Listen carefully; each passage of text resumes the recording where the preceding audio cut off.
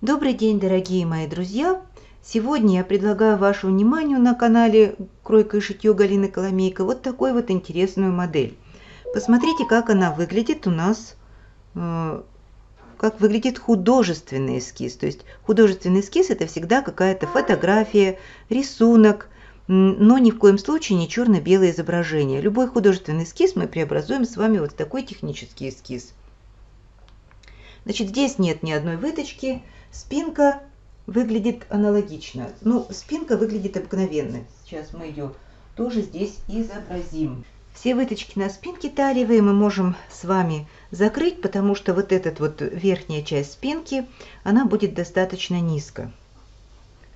Итак, вот такая наша цель. Вы снимаете свои мерочки, вот исходя из моих требований, чтобы они были у вас очень точные, четко определяете баланс своего изделия, выбираете прибавки. Для данной модели это прибавка по груди 1, прибавка по талии тоже 1 сантиметр. Э, ткань желательно расположить здесь по косой, здесь по долевой, средний шов по спинке, и там, видимо, будет какая-то у нас застежка. Вот. Итак, с чего мы начинаем? Мы начинаем, как всегда, а тут так называемые качели впереди. Мы начинаем, как всегда, с нашей базовой конструкции. То есть есть у нас с вами вот такие вот выкройки спинки, выкройки полочки. Давайте начнем со спинки, она у нас полегче. Итак, Эту базовую конструкцию вы обязательно строите с учетом того, что у вас нет рукава. То есть вот эта точка, нижняя точка проймы, она поднята достаточно высоко. Вы ее или измеряете вот это расстояние от талии до подмышки, либо вы откладываете просто 20 сантиметров и на примерочке потом это все подрезаете. Допустим, у нас есть то, что есть. Значит, мы должны э, провести линию, верхнюю линию спинки. Вот так я бы ее привела. Теперь у меня появляется средний шов. Если у меня появляется средний шов, значит я должна в среднем шве вот таким вот образом обязательно приталить.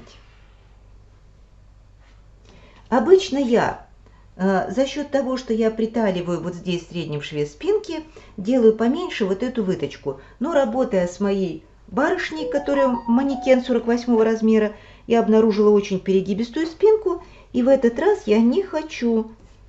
Э, я хочу просто добавить средний шов по спинке, чтобы лишнюю слабину там убрать.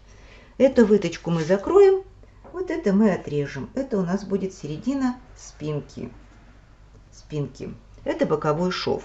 И наша спиночка почти готова. Теперь переходим к полочке. Какие необходимые изменения нам нужно сюда добавить, чтобы мы получили то, что мы хотим. Да, кстати, вот эта выточка. Манекен такой, что он просит эту выточку здесь сохранить. Я ее не буду переносить Скорее всего, хотя, возможно, здесь можно было объединить, но я не стану объединять. Пусть у меня вот здесь останутся вот эти по бокам маленькие выточки, потому что они очень хорошо заполнят анатомическую ямку в этом месте. Итак, работаем с нашей полочкой. На полочке мне нужно обязательно найти место, где у нас будет складочка. Вот это, э, вернее, вот это наша бретелька. Если у нас плечо выглядит вот таким вот образом, вот наше плечико идет так, то вы можете обратить внимание, что если это начало плеча, если это конец плеча, то наша бретелька располагается во второй половинке плеча. То есть мы делим наше плечико пополам, вот так пополам разделили, и где-то справа вот здесь у нас будет наша тоненькая бретелечка. Пометим себе это место на нашей выкройке. А, потому что именно во второй половинке плечика у нас всегда живут бретелечки от нашего белья.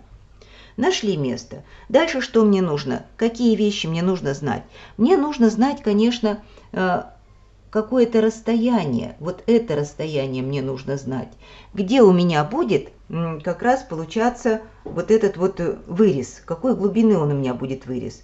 Поэтому мы подходим к нашему телу, э, к зеркалу, измеряем это расстояние у себя на фигурке и откладываем его, ну, где-то, наверное, я вот эту линию как бы хочу узнать. Вот такую линию я хочу узнать. И откладываем мы эту линию, ну, скажем, где-то вот здесь. Вот так. Вот это расстояние я измерила и отложила. Хорошо, отложила я это расстояние. Значит, я могу провести...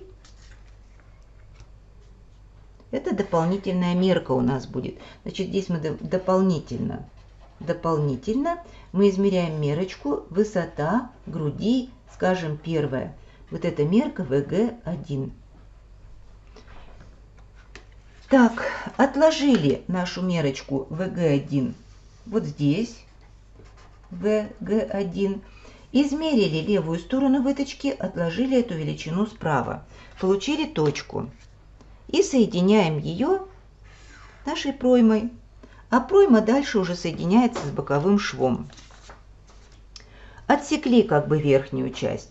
Теперь мне нужно наметить вот место для этой бретельки – Посмотрите, давайте обратимся, если мы посмотрим на наш технический эскиз, мы увидим, что эта бретелечка у нас очень близко находится к пройме. Она отведена куда-то в сторонку.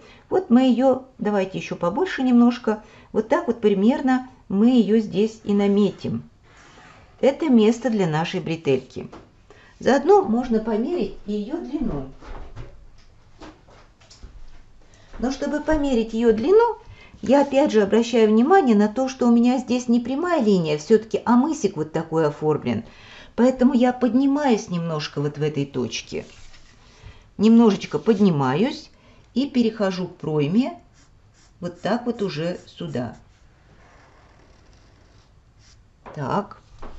Ну, а в этом месте я могу, допустим, как-то вот так нарисовать. Пока это не имеет у меня никакого большого значения. Вот, то есть мы нарисовали, получили вот этот вот эм, подъем, вот этот мысик, который мы видим. И заодно мы померили нашу бретелечку.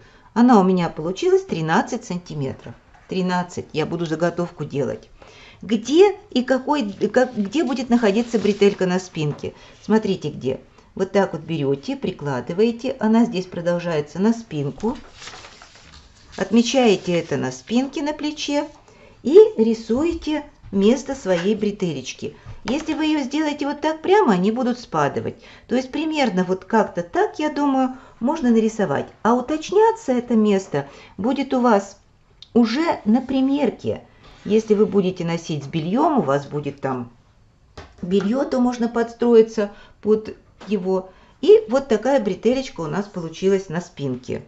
Можно ее двигать сюда, сюда, сюда, куда вам хочется. Я пока нарисовала так, и у меня это 21 сантиметр. Значит, 13 здесь, 21 здесь, у меня получается 44 сантиметра. Это длина моей бретельки. Можем написать 44 сантиметра. Нам надо выкроить будет на примерку вот такую вот бретелечку. Ну и все. Спинка у меня готова.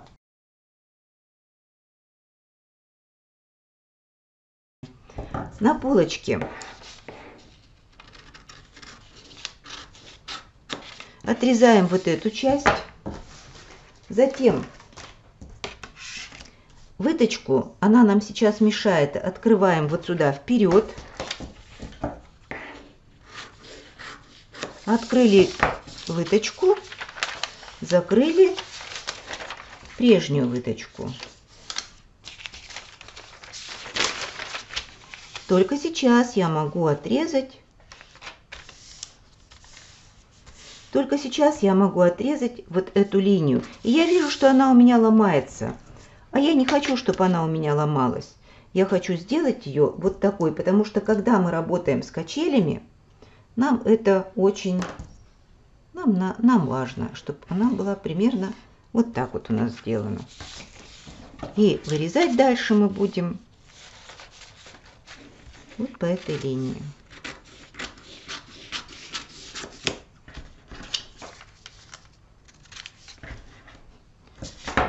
Вот, собственно, и все для начала. Сейчас я разложу ткань на столе, и на ткани остальные действия мы будем выполнять сразу на ткани.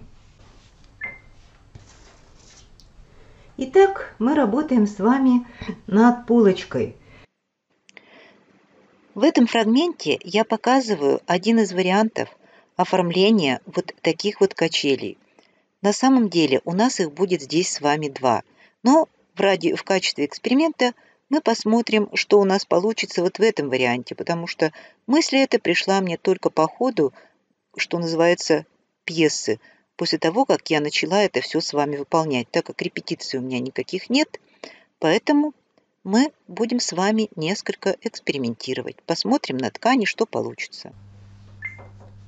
Итак, дорогие друзья, еще одно небольшое уточнение, которое бы мне хотелось сделать к данной модели. После того, как я попробовала на манекене, что у нас получается, стало очевидным и понятным, что в сухой, жесткой ткани, да я думаю, и в слабой тоже, этот вариант будет выглядеть не очень хорошо. Те красивые складки, которые мне бы хотелось видеть, у меня не получились. И поэтому что я придумала сделать? Я придумала взять и вот эту часть, она мне кажется лишней, убрать просто-напросто выточку. То есть, может быть, нужно э, отсечь вот сюда, но я оставляю небольшую, вот видите, как я нарисовала. Давайте поярче нарисуем это. Вот так вот. Я хочу вот это все зашить. Значит, оставляю немножко на шовчик и вырезать буду вот по этой линии. То есть вот эта часть, ее будет не видно, она будет там сложена у нас внутри. Мы ее просто-напросто удалим. И сделаем вот такую вот модель. Итак, готовые наши выкроенные из ткани вещи выглядят вот таким вот образом. Я сейчас это все буду сошью и покажу вам результат уже на манекене.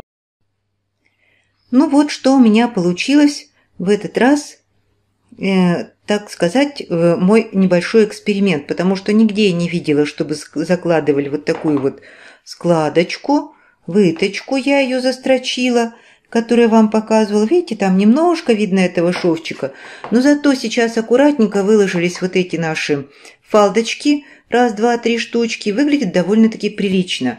Ну и мне хочется показать вам наше изделие, конечно, со всех сторон. Давайте вот так вот его на выточке не обращайте внимания, ничего я не утюжила. Ну и могу вам показать, как выглядит спинка. Туда, куда хотели, намечали мы наши бретелечки, туда они у нас и попали. Собственно, вот такое вот получилось у нас изделие. Грудь здесь достаточно большая. Это как вариант. Я попробую сделать другой вариант, когда ткань будет у меня все-таки по косой расположена, здесь она по долевой, да, и начало вот этих вот бретелечки сделаю покороче, чтобы начало нашего лифа было повыше, по бокам. Посмотрим, что из этого получится. Все-таки хочется мне сделать момент, когда посерединке не будет вот этого среднего шва. Ну а пока показываю вам вот такой вариант. Может быть, кому-то и он подойдет. Пробуйте, экспериментируйте и ничего не бойтесь. Пусть вам сопутствует удача, доброе здоровье и хорошее настроение. Всего доброго всегда ваша Галина Коломейко.